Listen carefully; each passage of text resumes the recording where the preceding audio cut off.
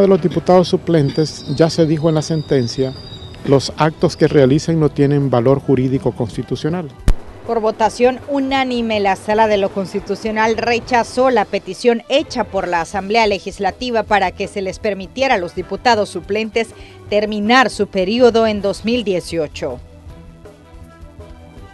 En medio de la crisis fiscal, el Ejecutivo hace un enérgico llamado a las instituciones de Estado para que reduzcan gastos. Y también he guardado la fe, solo espero Un niño de seis años recibió un último adiós en la tierra que lo vio partir rumbo al sueño americano. El pequeño murió ahogado en México al intentar cruzar la frontera. Gobierno y empresa privada anuncian 14 importantes proyectos en el rubro construcción. En el tercer día de la convención demócrata, el presidente Barack Obama ofrece un discurso de total respaldo a la candidata presidencial Hillary Clinton.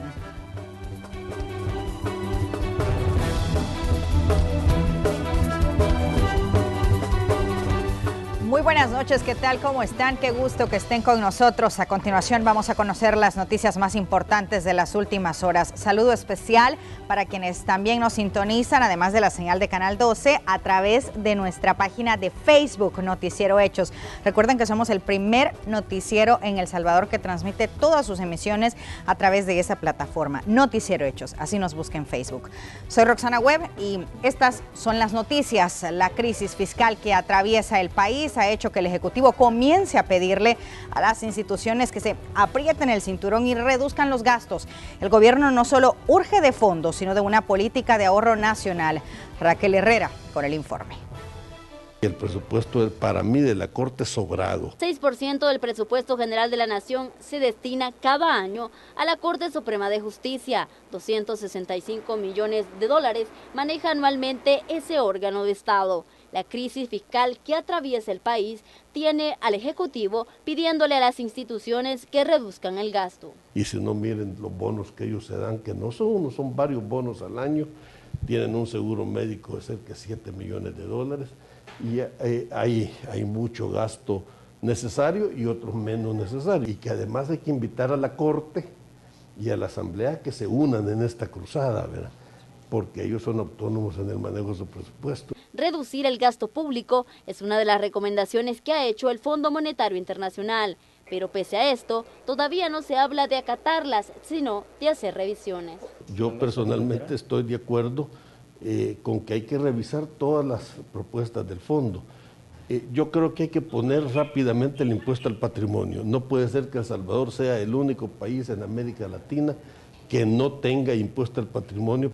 Ante la crisis, el gobierno dice que el presupuesto general de la nación del próximo año será austero. Los números de pago de la deuda pública y las pensiones de la Fuerza Armada no le cuadran al Ejecutivo. Por eso podría echar mano reduciendo el monto que se destina a las instituciones.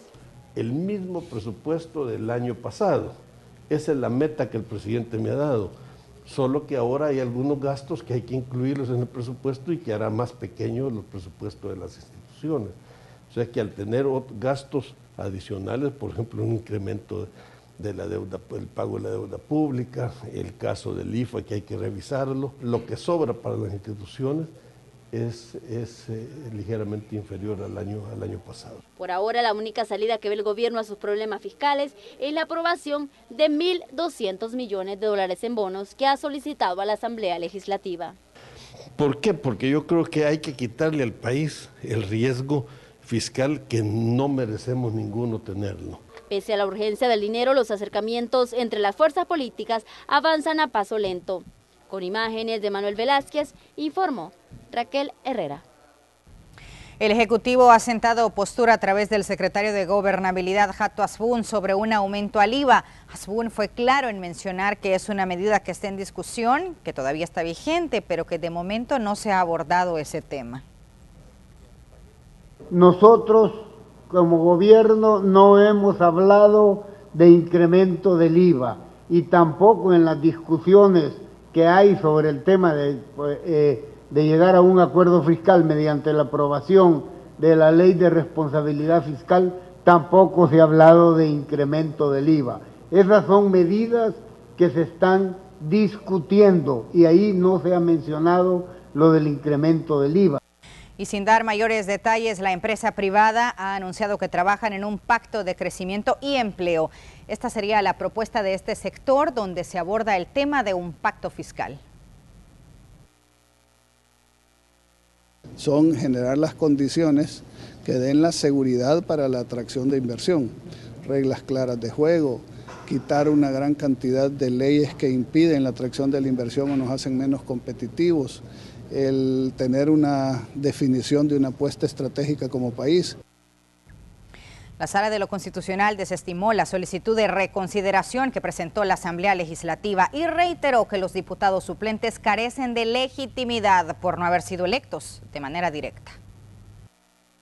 Las resoluciones de la Sala de lo Constitucional son de obligatorio cumplimiento. Por tanto, de nada sirvió que la Asamblea presentara una reconsideración para que sus diputados suplentes les fueran devueltos. Lo que era un secreto a voces se hizo realidad este miércoles. La sala no admitió la solicitud legislativa y reiteró que los suplentes son ilegales. Al paso sale la presidenta de la Asamblea, cuestionando la decisión de los magistrados. Juegan a la desestabilización Lastimosamente estos magistrados, eh, hay veces que hay que cuidarse de no eh, meterse eh, con la corrupción porque ya después no se puede salir de eso. Las sentencias que emite la Sala de lo Constitucional, como la de cualquier otro juez, como las sentencias que emite la Sala de lo Penal, la Sala de lo Civil, deben de cumplirse. ojalá que en algún momento se reflexione que el Estado de Derecho funciona eh, de esa manera. Incluso la Corte Suprema de Justicia alerta a la Fiscalía ante un posible desacato por parte de los diputados, llamado que no es del agrado de Lorena Peña.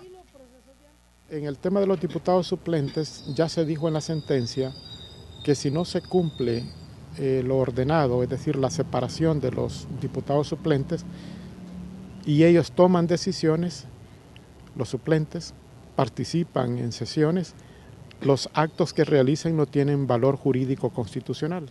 Los hijos del desacato nos piden ahora que, abran juicios. Él debe tener mucho cuidado porque él aceptó un desacato a la sala cuando salió electo. Al ruedo se lanza Rodolfo Parker, único diputado del PDC, legislador de los más afectados ante la falta de suplentes. Sostiene que la Corte Suprema se ha equivocado en esta decisión. Se le ha pasado la mano a la sala en en, la no consideración de la eventualidad de que un diputado propietario pueda fallecer. El magistrado también dudó de la posibilidad que los dos amparos presentados por Gana y FMLN sean admitidos en Corte Plena. Es en vano acudir a la Corte Suprema de Justicia a plantear amparos contra decisiones tomadas por la Sala de lo Constitucional en virtud de los, de los precedentes que ya existen, en donde la Corte ha dicho que no tiene competencia para conocer de procesos de amparo. Ante esta decisión, la única solución que le queda de momento a la Asamblea es esperar las elecciones de 2018 para tener de nuevo a legisladores suplentes. Con imágenes de Israel Cortés, informó Raúl Hernández. Más temprano, diputados suplentes de Ghana llegaron a la Corte Suprema de Justicia para presentar un amparo y que se les permita concluir la legislatura en los próximos dos años. Esperan tener una respuesta a favor, considerando que se les han violado sus derechos. Primeramente votaron aproximadamente 200 mil personas por nuestro proyecto político, por nuestra oferta electoral que la fracción y que, el partido es en su momento. Segundo, porque están violentando la constitución de la República en el, artículo 134 hasta el numerar, 132 hasta el numerar 4 Tercero, porque están violentando la ley secundaria. ¿Cuál es la ley secundaria? Es que la máxima autoridad en términos electoral es el Tribunal Supremo Electoral a través del Código Electoral. Y nosotros cumplimos con toda la legislación vigente. Por lo tanto, los diputados suplentes de esta legislación 2015-2018 debemos determinar este, el periodo. Lo que sí estamos de acuerdo es que para el periodo 2018 en adelante sí si así se cree conveniente, que ponga rostro tanto el diputado suplente que participe como el diputado propietario. Pero parece que los diputados están dispuestos a acatar el fallo de la Sala de lo Constitucional. Hoy se desarrolló la primera sesión plenaria sin suplentes. Este fue el panorama en la Asamblea Legislativa. Una sesión plenaria diferente a todas las realizadas en la actual legislatura, sin diputados suplentes. Los propietarios no tuvieron más opción que asistir a cumplir con sus funciones. 57 de los 84 estaban presentes en el pleno legislativo. Se comprometen a respetar el mandato de la Sala de lo Constitucional. Como asamblea estamos funcionando con propietarios y vamos a tener que cumplir con nuestras labores. Aquellos que no las han estado cumpliendo tendrán que hacerse presentes a sus comisiones y a la plenaria. ¿Puede el desarrollo de las plenarias, por ejemplo, que no existan suplentes? No, definitivamente que no. Hemos... Algunos curules se encontraban vacíos. Los que eran suplentes ahora ocupan los lugares de los asesores. El diputado Menardo González, a quien no es común observar en el Salón Azul, esta vez ocupó su curul. Diputado Menardo, unos minutitos, por favor, sobre el desarrollo de la plenaria. ¿Cómo ha visto ya la asistencia aquí en la Asamblea? Sin embargo, declinó hablar con la prensa. Eh, hay diputados que ustedes conocen quiénes son, que solo han venido a dos plenarias en un año, seis meses que llevamos de legislatura. La buena noticia es que la sentencia de la Sala de lo Constitucional ha obligado a los diputados que no vienen a que vengan a la, al, al Pleno y también a las comisiones.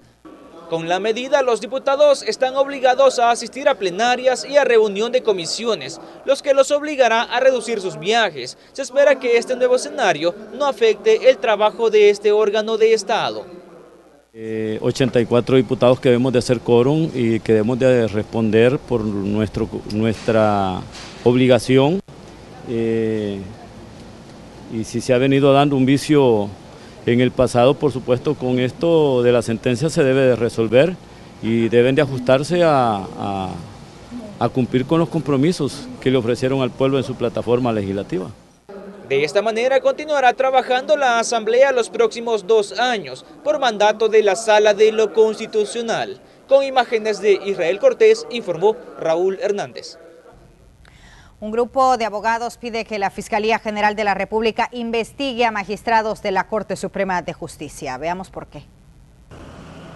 Tres abogados que se declaran independientes llegaron a la Fiscalía General de la República para exigir información sobre los avances de la denuncia interpuesta el pasado 31 de mayo en la cual solicitaron que se investigue a los magistrados de la Corte Suprema de Justicia, Belarmino Jaime y Sidney Blanco, así como al jefe de la sección de probidad de la Corte, Carlos Rafael Pineda. En su momento, en la denuncia, presentamos prueba indiciaria y además eh, solicitamos algunos actos de investigación que nosotros procuramos en ese momento eran importantes para identificar estos actos arbitrarios de las personas que nosotros le estamos atribuyendo estos delitos. Ronald Avilés, Roberto Juárez y Moisés Uceda son los abogados que aseguran que los funcionarios de la Corte Suprema de Justicia han cometido actos arbitrarios en las investigaciones contra los expresidentes de la República Francisco Flores, Elías Antonio Saca y Mauricio Funes, así como la del exdiputado Reinaldo López Cardosa, todos señalados por presunto enriquecimiento ilícito.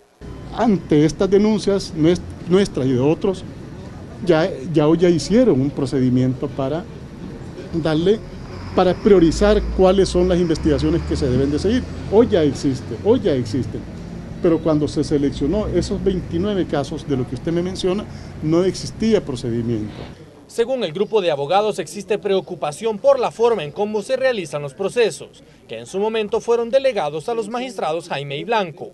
Consideran que las decisiones tomadas hasta el momento han sido con tinte partidario. Con imágenes de Verábalos, este es un reporte de Néstor Hernández. Representantes del Movimiento Acción Ciudadana dieron a conocer la resolución emitida por el Instituto de Acceso a la Información Pública relacionada con la petición hecha al Ministerio de Hacienda sobre quiénes son los donantes de los diferentes partidos políticos. Según los miembros del movimiento, cuatro de los cinco partidos políticos asambleístas ya hicieron entrega de la documentación reclamada. Sin embargo, sostienen que se harán más estudios ya que se encontraron anomalías en los documentos. Los informes solicitados datan del año fiscal 2015 y también se nos va a entregar el formulario eh, que cada mes los partidos envían al Ministerio de Hacienda donde está el listado de donantes. O sea, hay un formulario, el F960, que eh, los partidos políticos mes con mes envían al Ministerio de Hacienda donde se ve reflejado quiénes son los donantes del partido nosotros teníamos serias dudas de que la información sobre los donantes estuviese completa. Con esta resolución del instituto, eh, obviamente vamos a poder comparar la información que se nos ha entregado y vamos a acceder a aquella que se nos negó, por ejemplo, a la información que eh, el FMLN no nos ha entregado hasta esta fecha.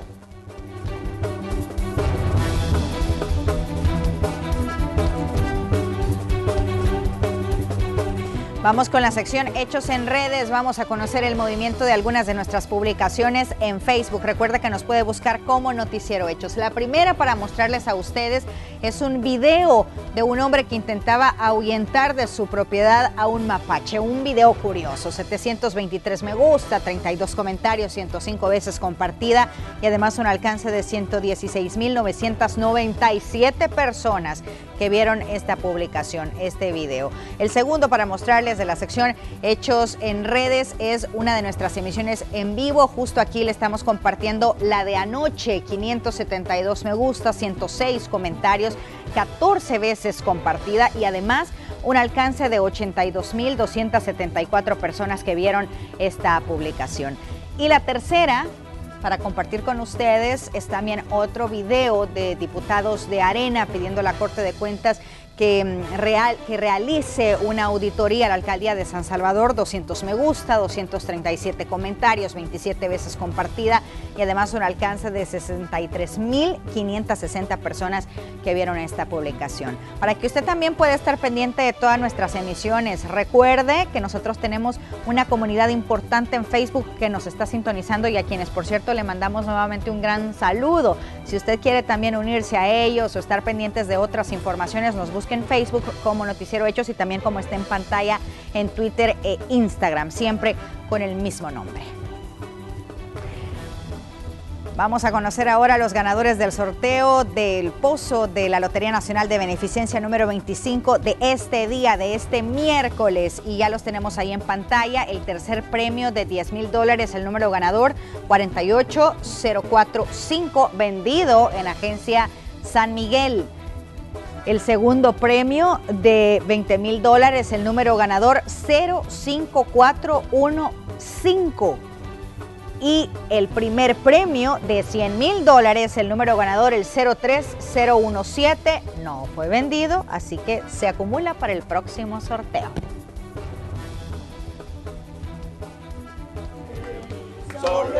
En minutos, familiares y amigos dan un último adiós al niño salvadoreño que murió ahogado en México al intentar cruzar la frontera. Robles García, un niño que murió ahogado en busca del sueño americano.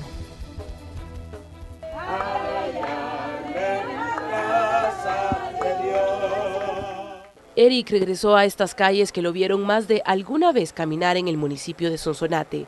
Las lágrimas y el sentimiento de impotencia era lo único que se percibía entre la familia y amigos que despidieron al niño de seis años que murió en el intento de cruzar la frontera de los Estados Unidos. No, eso duele. Era un niño tan chulo, tan dulce. Sí, cada vez que lo llevaba a salir a la casa, viera cómo era con nosotros. Sí. Duele, ¿verdad? Sí, duele. Pero las decisiones de los adultos. Sí. Las malas decisiones de Malas decisiones, pero acuérdese que un- buscando la mejoría uno para sus hijos, entonces no se puede criticar tampoco a don Rigo. Eric Adrián Robles cursaba preparatoria en un colegio del barrio El Ángel, siempre en ese municipio. Vivía junto a su padre, quien ante la crítica situación económica tomó la decisión de correr el riesgo y juntos perseguir el sueño americano. Pero las cosas no salieron como lo planeaban. Entre la frontera de Guatemala y Chiapas en México abordaron una embarcación, la cual debido a las condiciones climatológicas se accidentó y tres de los niños que iban junto al grupo de personas cayeron al agua, entre ellos Eric. Somos libres de tomar decisiones en nuestras vidas, de lo que querramos hacer con nuestras vidas, con nuestros hijos. porque somos los únicos que los mantenemos y los sacamos adelante, sea como sea. Su familia en medio del dolor prefiere no hablar de lo que sucedió. Eric es el reflejo del riesgo que corren a diario cientos de personas con la idea de llegar a los Estados Unidos para una mejor vida. Muchos mueren en el desierto, otros terminan hasta mutilados por la bestia, el tren que recorre rápidamente México, y otros, como este pequeño, terminan ahogados en el mar. Eh, los coyotes a, uno lo tratan como que fuera un perro allá, que como que regalado va a, hacer las cosas esas y no. Su padre sobrevivió, fue retornado hacia El Salvador hace unos días. Acompañó el féretro de su hijo hasta el último momento sin decir ni una sola palabra. En su rostro se reflejaba el dolor de haber perdido al ser que quizás fue el principal motivo para luchar por un futuro mejor. Con información de Herbert Vázquez, este es un informe de Alejandra Canales. Las cifras son dramáticas. Solos o acompañados, más de 47 mil niños han intentado cruzar hacia los Estados Unidos en los últimos siete años. Las autoridades de migración hablaron además de las deportaciones de compatriotas. 250 personas son repatriadas al país cada día, salvadoreños que entraron o intentaron llegar a Estados Unidos de forma ilegal. De enero a julio, 10.987 personas han sido deportadas solo de Estados Unidos, un incremento del 5% en comparación con 2015. Las cifras este año se han comportado eh, parecidas a las del año pasado. Eh, a estas alturas hemos recibido 27.225 retornos. Si la tendencia se mantiene, a final del año vamos a estar recibiendo más o menos unos 50 mil compatriotas. La situación de los niños no es diferente. Según las autoridades migratorias de Estados Unidos, han detenido a más de 47.500 niños y menores salvadoreños que ingresaron solos y de forma irregular a territorio estadounidense entre 2009 y marzo de 2016. Los últimos siete meses, las repatriaciones de niños desde México incrementaron en un 29%. Los Estados Unidos, afortunadamente, durante este año no hemos tenido retornos. Eh, la gran mayoría de, niños y niñas que han llegado a Estados Unidos eh, están en, un proceso eh, ante un juez. De México sí hemos tenido retornos de niñas y niños. Durante este año tenemos cifras hasta este momento de 4.214 retornos. Estudios estiman que entre 300 a 400 personas salen al día del país en busca del mal llamado sueño americano. La pobreza y la violencia son condicionantes. También eh, el tema de, del empleo, quienes van en busca de un mejor empleo y mejorar su, su economía familiar, ese es otro de los motivos. Y en tercer lugar también eh, el tema de la delincuencia, pues que también eh, en algunas zonas es objeto de que muchos salvadoreños se vayan para Estados Unidos. Según Migración, actualmente cerca de 2 millones de salvadoreños residen en Estados Unidos. Con imágenes de Manuel Velázquez, informó Raquel Herrera. A las puertas de iniciar las vacaciones de agosto, te invitamos a que te escapes de la ciudad y disfrutes de los 14 parques recreativos del Instituto Salvadoreño de Turismo, visitando Amapulapa, Laguna de Apastepeque, Ichanmichen, Apulos, Iguatehuacán, Los Chorros y Agua Fría. Los parques de Listu te esperan. Y hablando de estos temas, vamos a contarle que mm, durante las festividades agostinas un total de 2.372 empleados del Seguro Social serán los encargados de dar la atención necesaria a los vacacionistas en el periodo comprendido del 29 de julio al 7 de agosto. Estarán a disposición ocho hospitales y 11 unidades médicas con atención de emergencias las 24 horas. Las autoridades hacen un llamado a la población a acatar las recomendaciones para evitar más accidentes. Y también las autoridades de la Dirección General de Migración y Extranjería dieron a conocer el plan de contingencia fronterizo para el periodo de vacaciones de agosto. Según las autoridades, han ampliado el periodo de atención al usuario. Las oficinas de Santa Ana y San Miguel estarán atendiendo hasta el próximo miércoles. Además, a las cuatro fronteras con Guatemala implementarán en ese lugar la modalidad de paso ligero para los viajeros. Este año se esperan que unas 280 mil personas ingresen y salgan del país donde lo que estamos buscando es que eh, el ciudadano que, visite o salga de El Salvador solo haga una sola, un solo chequeo por, eh, en país y no dos como usualmente se hace.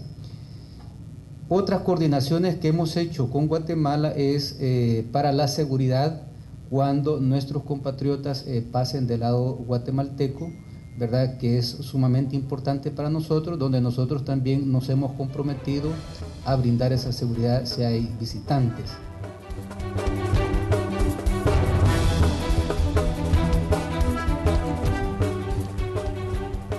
Fíjese muy bien en el siguiente video, el futbolista portugués Cristiano Ronaldo sigue de vacaciones con sus amigos en Estados Unidos. Luego de pasar unos días en Las Vegas, donde bailó en el cumpleaños de Jennifer López, se trasladó a Beverly Hills.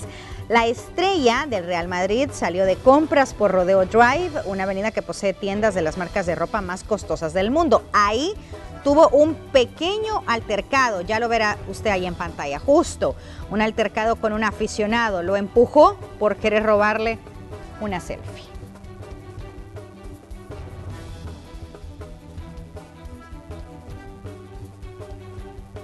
En minutos tendremos un informe en vivo sobre lo que está ocurriendo en la convención del Partido Demócrata en Filadelfia, Estados Unidos.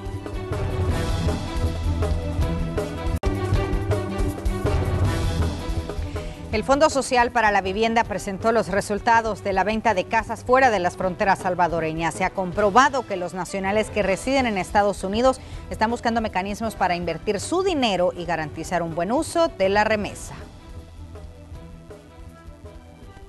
Usted sabe que una vivienda no solo eh, permite eh, el beneficio momentáneo, sino que en un momento determinado, en una emergencia, usted tiene de dónde echar mano. Adquirir una vivienda es una decisión importante en la vida y una responsabilidad. Muchos salvadoreños que residen fuera del país anhelan volver o garantizar un mejor futuro a sus seres queridos. Comprar una casa es una de las metas principales. Obtenerla depende de muchos factores, pero una vía es el Fondo Social para la Vivienda, que a la fecha ya ha otorgado 1.649 créditos a nacionales residentes en diferentes partes del mundo. Si se suman todos los créditos entregados, el monto supera los 44.2 millones de dólares. Canadá, Italia, España, Australia, Bermuda, Chile, Irlanda, Nicaragua que está cerca, Suecia y Suiza. Pero estos países tienen una posición secundaria. El 46.2% de los créditos bajo el programa Vivienda Cercana se ha facilitado a salvadoreños que viven en Estados Unidos. Nuestro compatriota que está en Estados Unidos está demandando vivienda arriba de lo que nosotros tenemos conceptualizado lo que es vivienda de interés social. Se considera vivienda de interés social aquella con un costo menor a los 32 mil dólares, pero los connacionales están adquiriendo casas con un costo de entre 32 mil y 125 mil dólares. Sus capacidades son mejores y las oportunidades no limitan a aquellos que están en una situación legal en el país norteamericano. Quienes tienen un estatus irregular también pueden aspirar a comprar una casa. Hoy por hoy les, ofrecemos las viviendas recuperadas y la casa sale a nombre de la persona que vive aquí en El Salvador. El 6 y 7 de agosto se realizarán dos ferias de vivienda en Estados Unidos, específicamente en Los Ángeles, California, en la celebración del Día del Salvadoreño y la Feria Agostina. Se espera una participación masiva y que se concreten acuerdos. El proceso para adquirir una casa va de tres a seis meses según la condición del interesado. El Fondo Social ya gestiona realizar ferias en otros estados. Nueva York o eh, Washington, pero si no puede participar de estas actividades, el fondo tiene habilitado en el Consulado de Los Ángeles una ventanilla especial que permite a los salvadoreños tramitar la compra de una casa en su país y hay convenios con entidades que se encargan de buscar el inmueble. Con imágenes de Roberto Martínez informó Crisia Recinos. El gobierno y la empresa privada empiezan a dar anuncios importantes en temas de economía. Estos sectores le apuestan a dinamizar la inversión desde el área de la construcción. El resultado de los acercamientos entre el gobierno y las gremiales empresariales empiezan a dar los primeros resultados, pues anunciaron en conjunto una serie de proyectos de construcción con un monto de al menos 200 millones de dólares, que será ejecutado por la empresa privada. El vicepresidente de la República, Óscar Ortiz, dijo que las inversiones vendrían a dinamizar el ramo de la construcción, que el año pasado aumentó en 1.5%. El sector construcción mostró una mejora el año pasado de 0.7 de crecimiento, hoy tenemos eh, arriba del 2% de crecimiento, pero queremos cerrar el año con, con, un, con un mayor nivel de dinamismo de este sector por el impacto directo que tiene en la economía y en la generación de empleo. Y hoy queremos decirles que hemos logrado avanzar en un primer tramo para liberar un promedio de 200 millones de inversión en el sector construcción. Por su parte, Luis Cardenal, presidente de la ANEP, destacó las reuniones con el Ejecutivo, mismas que han permitido avanzar en este tema, pero no sin antes señalar que se están dando otras discusiones donde participan, como una eventual ley de aguas.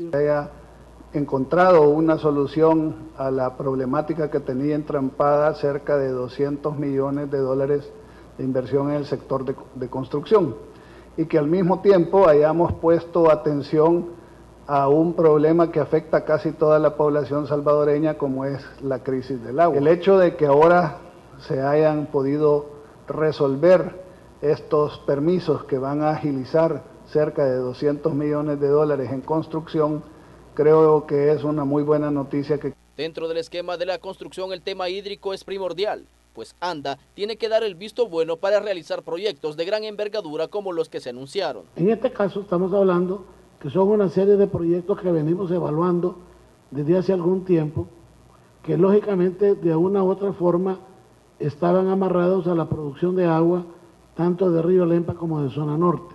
La principal gremial de la construcción, Casalco, a través de su representante Ángel Díaz, fue optimista en cuanto al crecimiento de este rubro en los próximos años. Y eso realmente nos, nos permite decir y predecir que realmente la industria de la construcción se puede mantener con un buen ritmo y puede crecer alrededor del 5%.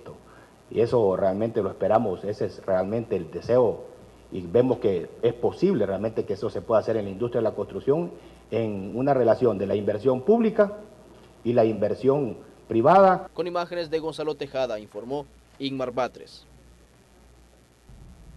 Crisia Recinos nos presenta la sección Economía al Costo. Buenas noches, Roxana y amigos televidentes. Hoy comienzo hablándoles de los iPhone.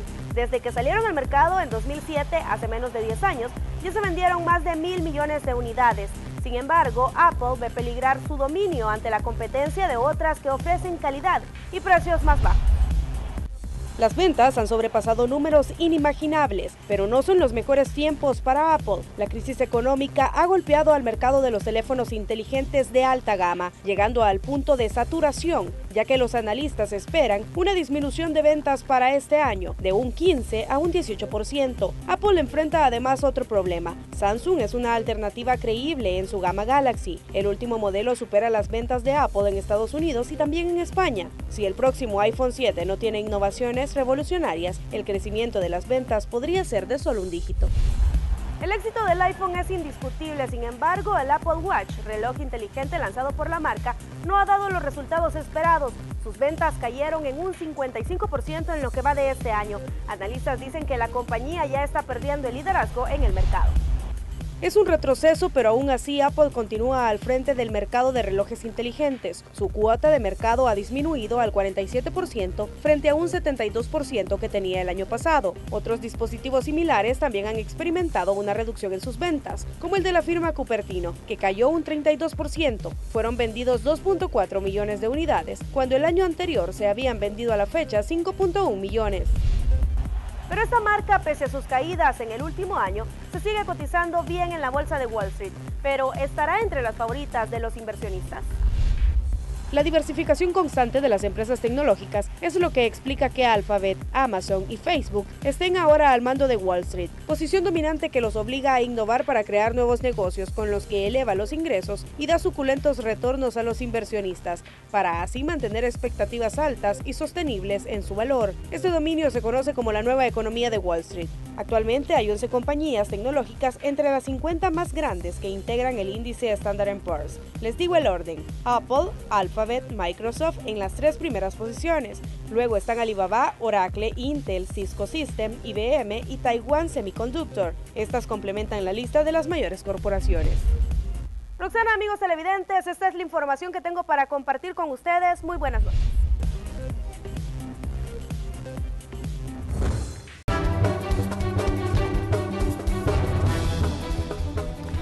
Tenemos información en desarrollo cuando son las 8 de la noche con 44 minutos. Esta es una noticia en desarrollo, se lo repetimos. Se trata de un tiroteo registrado en la residencial San Pedro de Mexicanos, en el que resultó lesionado un hombre de aproximadamente 50 años, pero que ha sido trasladado hacia un centro asistencial y lamentablemente cuando fue trasladado falleció. Le repetimos, es una noticia en desarrollo, un tiroteo en la residencial San Pedro en Mexicanos que ha dejado una persona fallecida. Vamos a cambiar totalmente de tema para contarle que comunicadores de distintos medios fueron galardonados por la ardua labor que realizan y en el evento periodistas de la Red Salvadoreña de Medios fueron reconocidos. Contamos en todos los medios con periodistas de grandes ligas, es decir, con experiencia asombrosa en el desempeño de su trabajo. La Asociación de Periodistas Independientes de El Salvador celebró la vigésimo tercera edición del Micrófono Dorado, reconocimiento otorgado a periodistas destacados de los diferentes medios de comunicación. Y ahora corresponde... El evento contó con la presencia de personalidades reconocidas a nivel nacional por su larga trayectoria periodística. En el evento se instó a los comunicadores a mantener siempre la objetividad en su trabajo y se reconoció las adversidades que día a día representa la profesión. Sabemos que en muchas ocasiones el ser éticos implica una, de un, en una sociedad como la nuestra poner en riesgo nuestra integridad y quizá la de nuestra familia, ya que se toca la sensibilidad de algunos quienes ven afectados sus intereses. Red Salvadoreña de Medios dijo presente. Con imágenes de Denis Bolaños, informó Azucena Sandoval. La reportera Azucena Sandoval, el camarógrafo Denis Bolaños y el presentador y productor Edwin Hidalgo fueron galardonados. El periodismo te da muchas emociones, eh, experimentas tristezas, experimentas alegrías, pero también satisfacciones y para mí esto es una gran satisfacción. Cuando te apasiona lo que haces, pues al final ya no es un trabajo, es tu diario vivir. Pero también eh, dar las gracias a Canal 12, ¿verdad? Ahora a través de un consorcio llamado RCM, Red Salvadoreña Medios, como lo ven, canales 12, 11 y Radio Sonora, que me ha permitido durante estos ya 19 años eh, de trabajo precisamente en diversas, eh, diversas perdón, áreas de la empresa, en este caso producción y también este, presentador o conductor de televisión durante todos estos años. En total fueron 12 comunicadores y 7 camarógrafos a quienes se les reconoció la ardua labor que realizan informando a la población. Con imágenes de Gerson López, este es un reporte de Antonio Valladares. Estrenarán los videos musicales que grabó Christina Grimmie antes de ser asesinada. Así lo anunció quien fuera su manager Brian Tifford a través de su cuenta en la red social Twitter. La despedida de soltero de David Hasselhoff, el actor quien se casará pronto con su prometida Hayley Roberts, se dará un gran homenaje con sus amigos. Habrá aviones, rafting, carreras de coches, paracaidismo y carreras de camellos, expresó. Liam Payne querría tener una carrera como la de David Beckham. En esta industria es importante forjar una marca que resulte rentable, como ha demostrado el astro del fútbol, expresó una fuente cercana al cantante. Tom Cruise fue amenazado de muerte por un supuesto musulmán suicida. El actor está en medio de una investigación policial en Los Ángeles luego de que un hombre llamara a la iglesia a la que él pertenece, asegurando que le gustaría inmolarse con bombas adentro. El doble de Gerard Piqué. La cantante colombiana Shakira compartió una foto en la que prueba el gran parecido de su esposo, el futbolista del Barça, con su hijo menor Sasha. Vamos ahora con las noticias internacionales. Costa Rica anunció que recibirá migrantes del Triángulo que huyen de la violencia de sus países. Oscar Ulloa de nuestro canal aliado Repretel nos amplía. Adelante. Gracias, eh, Roxana y compañeros de Noticiero Hechos. Efectivamente, Costa Rica dará visa humanitaria a 200 ciudadanos de Guatemala, Honduras y El Salvador. Esto por el riesgo que viven en eh, sus países y que andan buscando refugios en una tercera nación. Así se anunció esta semana gracias a un convenio entre ACNUR y el gobierno costarricense. Los beneficiarios tendrán un permiso de estadía temporal en Costa Rica por eh, seis meses y todo será financiado por la Agencia de Naciones Unidas para Refugiados, ACNUR. El alto comisionado de las Naciones Unidas para Refugiados se encargará de los gastos y lugares donde vivirán estas personas. La iniciativa contempla la atención de 200 personas simultáneamente. El gobierno firmó un acuerdo con ACNUR que permitirá recibir temporalmente a las personas en riesgo. Estas personas quedarán eh, alojadas en casas particulares con las que ya el ACNUR viene trabajando de larga data, pero y, serán en la, en la, región del GAM, puesto que eh, las personas que vienen temporalmente van a tener, como les decía antes, que seguir cursos de inglés y otro tipo de cursos de preparación. El gobierno de Costa Rica tiene también, eh, se reserva un derecho explícito a, a pedir más información en caso de que haya algún tipo de duda sobre las personas que, que están este, en el proceso. La iniciativa es por seis meses y es exclusivamente para personas en la región centroamericana. La presidencia ACNUR y OIM participan en este convenio. Y según datos del gobierno Tico, hay unas 3.500 personas viviendo en condición de refugiados en Costa Rica. Este fue un reporte de Oscar Ulloa de Noticias Repretel Costa Rica para Noticiero Hechos. Gracias por el reporte. Vamos a seguir hablando de temas de Centroamérica. En Guatemala, el expresidente Otto Pérez Molina y su ex vicepresidenta Roxana Valdetti han sido ligados a proceso en el caso de cooptación o cooptación, mejor dicho, del Estado. El juez Miguel Ángel Gálvez, responsable del caso, consideró este miércoles que existen indicios suficientes para procesarlos por los delitos de cohecho pasivo y lavado de dinero. En total son 57 personas acusadas en este caso.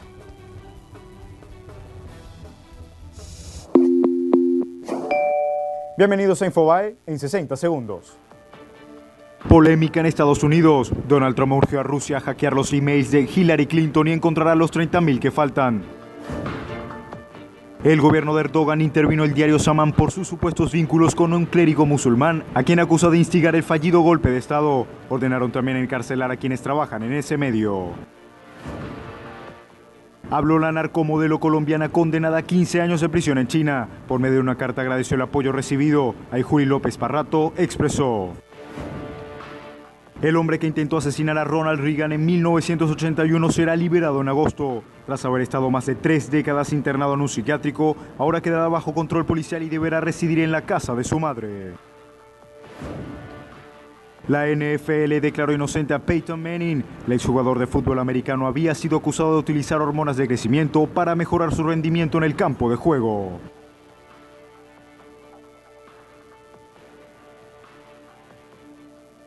Para más información visita infoba.com, síganos en nuestras redes sociales.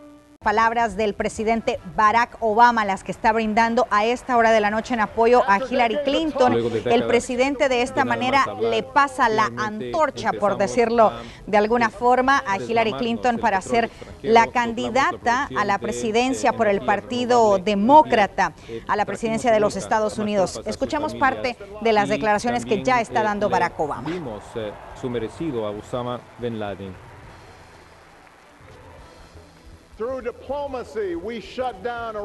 Mediante la diplomacia hemos cerrado el programa de armas nucleares de Irán. Iniciamos un nuevo capítulo eh, a Cuba. Reunimos a 200 naciones en torno a un acuerdo climático que puede eh, ahorrar este planeta para nuestros hijos. Instituimos políticas para ayudar a los estudiantes con préstamos estudiantiles, para proteger a los consumidores de fraude, reduciendo por la mitad eh, la situación de los sin casa. Y a través de eh, innumerables eh, muestras de valentía, los norteamericanos han visto que la igualdad es una posibilidad que se encuentra por todo el país. La igualdad del derecho de casarse.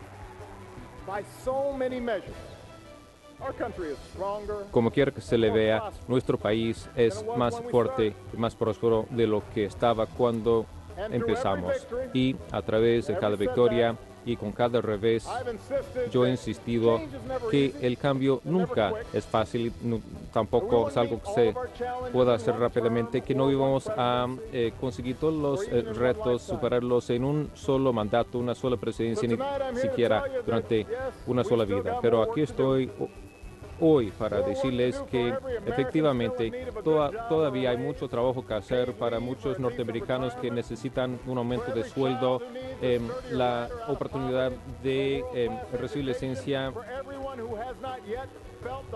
darle la de salir de la Durante un nuevo día de la Convención Demócrata escuchábamos las declaraciones del presidente Barack Obama y su apoyo a Hillary Clinton hablando de diferentes temas de país, lo poco que alcanzamos a escuchar, hablando de Irán y también de Cuba, es decir, de política internacional y los acercamientos, los aciertos, según él, que ha conseguido su gobierno con estos otros países, entre otros temas que por supuesto va a estar tratando. Nosotros lo invitamos, amigo televidente, a que sintonice nuestra de Facebook esta emisión. Vamos a estar compartiéndola con ustedes las declaraciones de Barack Obama, este discurso con la traducción simultánea en nuestra página de Facebook Noticiero Hechos. Es todo. Hasta mañana.